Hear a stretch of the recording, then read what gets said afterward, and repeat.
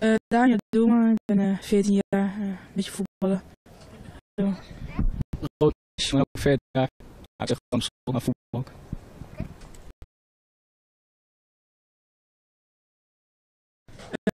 Kleren, voetbal spelen, een beetje voetballen, computer. Wij voetbal met vrienden. En dan gaat het de plek. Meestal. Ja.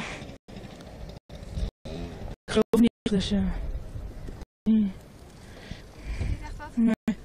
Ja, ik geloof wel ja, voor mij is het gewoon. ehm, maar ik geloof in Jezus is gewoon. zeg maar. Het hebt. Ehm, ja, dat is God. En die is voor ons aan het gestorven. De Zoon van God, ja. Nee, weet ik niet. Geloof je dat? Nou, niet echt. Ja. School geleerd.